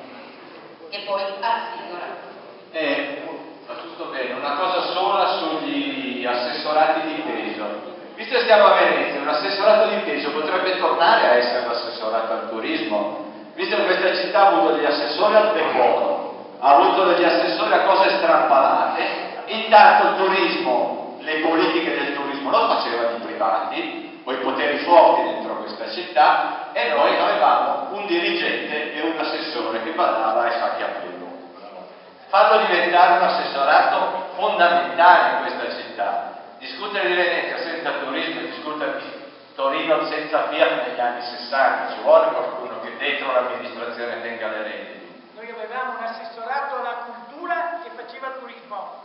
Questa è la verità. No, eh, sugli assessorati sarebbe interessante visto di peso. Non è detto che siano gli stessi che ci sono oggi, perché il territorio che viene oggi governato dai trasporti, l'urbanistica, le cose, il parco, l'ambiente, ecco, si può anche ragionare nella discussione che faremo più avanti sul programma e su come rispetto a certe opzioni programmatiche a funzione ci sia un ente di governo, sia esso all'interno del comune, sia esso il discorso delle municipalizzate, le cose di ecco, tutto questo ragioniamo, come dire, anche rimescolando le carte. Comunque, per quanto riguarda lo step attuale, va bene così. Ok, grazie Maestro. Allora, eh, andiamo rapidamente. Eh, allora, il confronto preventivo in pubblico e regole condivise, Quello che stiamo facendo adesso diventa strutturale, cioè tutto il percorso che porta alla formulazione del programma, certo che è complicato, ma va fatto così, cioè va fatto con percorsi che permettono ogni volta di dire siamo arrivati a questo punto, lo condividiamo e andiamo avanti. E questo percorso di costruzione di un programma che non diventa più elettorale, diventa un programma di patto fiduciario con la città, impegna già tutti quanti a che quelle cose lì si fanno. Non si scriveranno più cose per tanto per raccontare, non si possono scrivere 5.000 se non si è sicuri del come, si diceva prima, si arrivano a mettere in piedi, se ci sono le risorse, come andare a cercare le risorse. Però non può esserci neanche l'alibi, perché questa è una cosa secondo me drammatica, per cui le risorse sembrano essere le uniche responsabili della mancanza delle idee e delle. Non è così, non è così, perché se uno ha scelte, idee e scelte e ha capacità di scelta, trova anche le risorse. e decide di trovare le risorse. Facciamo in ordine?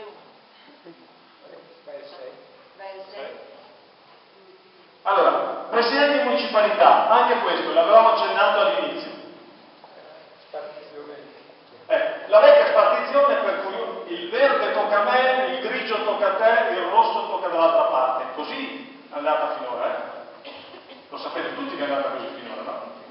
Ecco, allora adesso come si fa? È possibile, indipendentemente dalla riforma delle municipalità o meno, indipendentemente da quello che succederà, non è possibile che l'unico pezzo, per esempio, che è rimasto in piedi, no? di amministrazione, si dice l'unico pezzo di rappresentanza democratica. Ma siamo sicuri che sia veramente... Chi rappresentano questi signori oggi?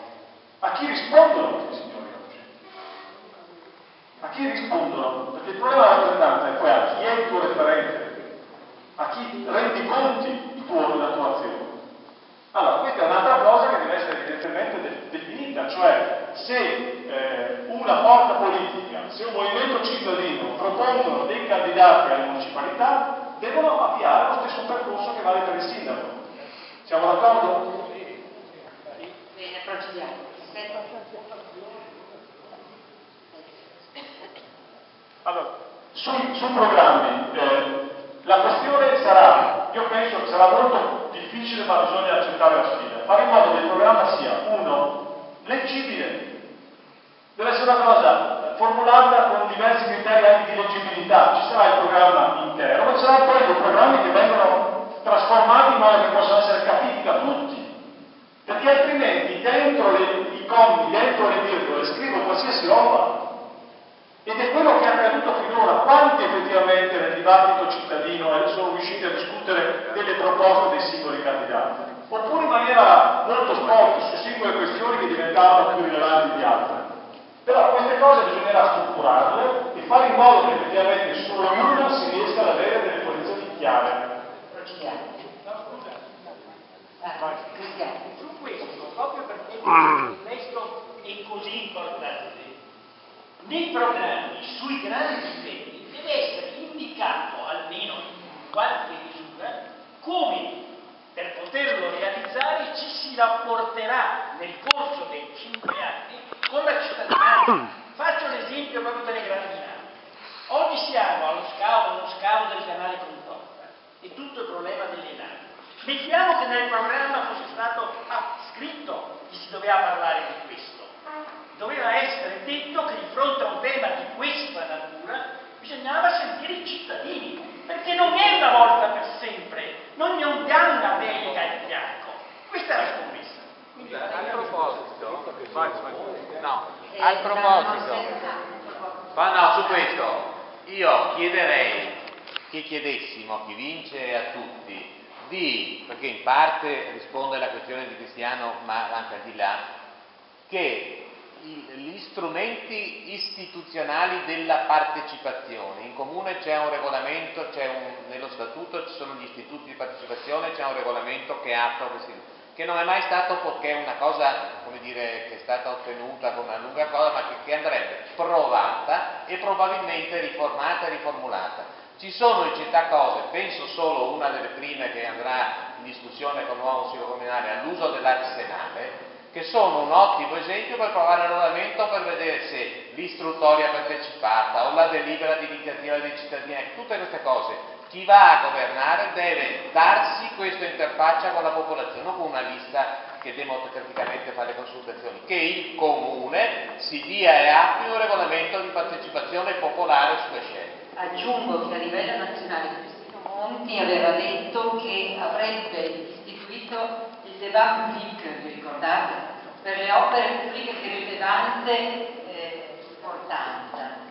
E a livello comunale bisognerebbe quantomeno fare delle eh, prove di democrazia partecipativa sulle decisioni da, prima di iniziare a pensare a un'opera, ma vedere se con la cittadinanza si è d'accordo sull'opera e sulla finalità, prima di intraprendere qualsiasi cosa.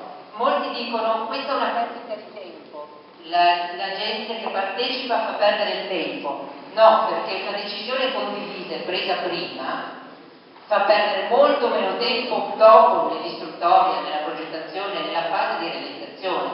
Non dimentichiamoci che prima devono essere valutate tutte le alternative e poi eh, si può procedere. Questo dovrebbe essere eh, la normale democrazia partecipativa. Comprese quelle delle consulte. Io vorrei che articolassi un attimo di più, non, è il momento, ma rinuncio e basta.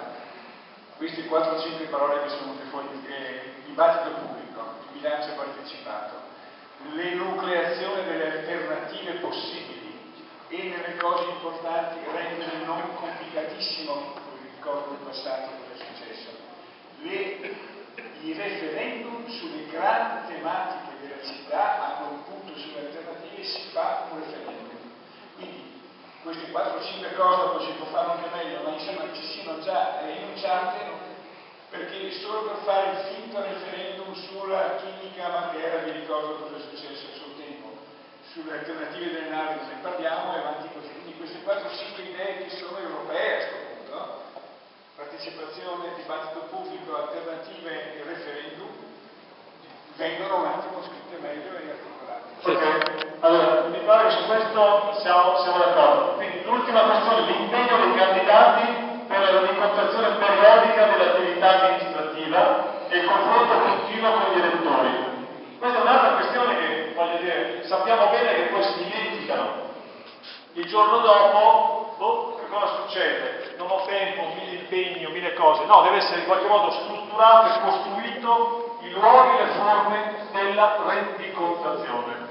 Quindi il programma eh, di chiunque sarà eh, la forza che vuole candidarsi, dal punto di vista di questa regola significa dimmi come rendiconterai alla città, periodicamente, con che modalità, con che strumenti.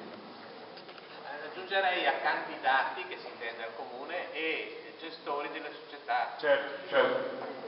Ecco sì, è molto importante tener conto della seconda e della terza generazione di filiazione, perché poi sono spesso le strutture che finiscono per decidere eh, in maniera totalmente tecnica e quando diventa tecnica la cosa diventa estremamente, estremamente preoccupante.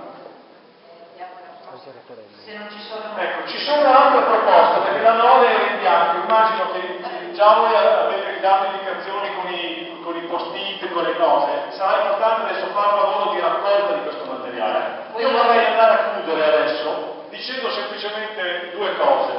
Ricordare che il lavoro che vogliamo fare quindi è su queste regole applicarle e misurare le proposte che verranno, ok?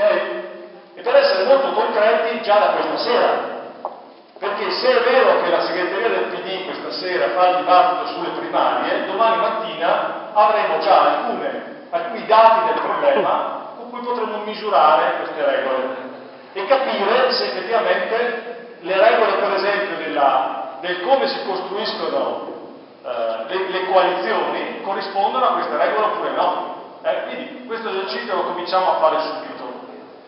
Direi un'altra cosa, che c'è un impegno, e qui il lancio io mi sento di farlo, c'è un impegno di un movimento cittadino che comunque non abdica più, che non lascia semplicemente che siano lì i partiti a decidere qual è l'offerta politica in questa città. Perché se la cucina è scadente, l'unica maniera è che cominciamo a farci da mangiare.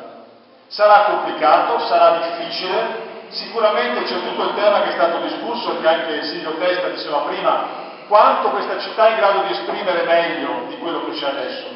Io penso che bisogna partire però eh, innanzitutto dal fatto che sicuramente c'è un pezzo di questa città che è in grossa sofferenza e che rispetto a queste persone e a questi cittadini una risposta va data, altrimenti i meccanismi di disgregazione della comunità andranno avanti. Allora, un impegno diretto di un movimento cittadino, Venezia Cambio 2015 si mette a disposizione su questo, per costruire assieme un programma con questioni rilevanti, con priorità chiare e la possibilità che queste diventino effettivamente materia di discussione